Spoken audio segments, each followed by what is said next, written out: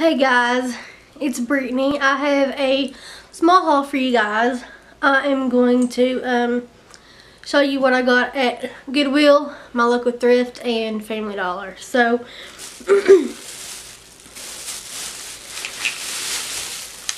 I'll start with Goodwill. As you can see, I didn't get much at all.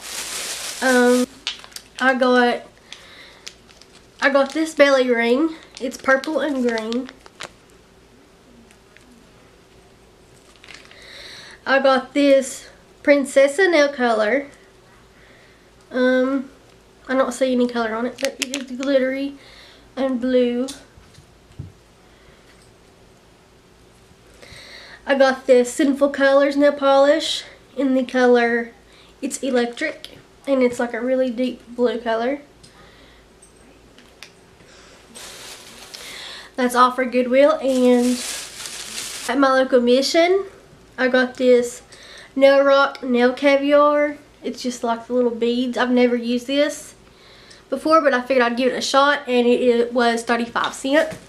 At my Family Dollar, I got some tarts, and it is getting ready to be fall, and I'm so excited for fall. It is too hot right now, so I'm ready for some cool weather.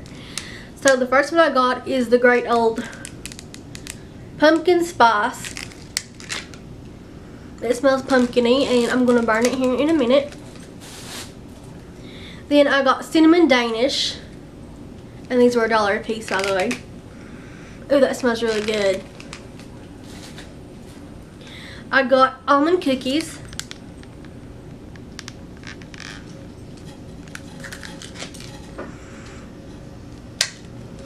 And I also got the blueberry cr blueberry crumb cake.